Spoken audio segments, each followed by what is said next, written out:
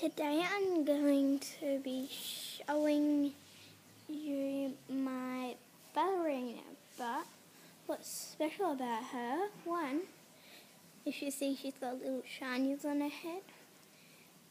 Two, she's got a very massive big frilly, frilly, really, really, frilly skirt. And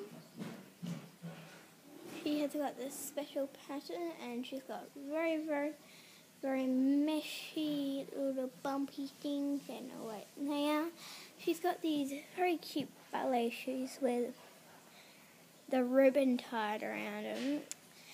And then she's got very, very pink lipstick. But what's very unique about her, if I stand her up, another one of my random collection of Beanie Kids. Look at that height difference. This one's slightly taller.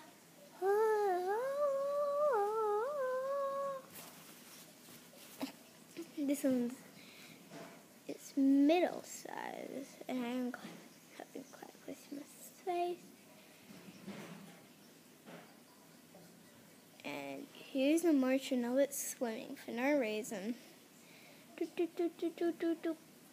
Bing. Okay, and thanks for watching. Say bye. Bye.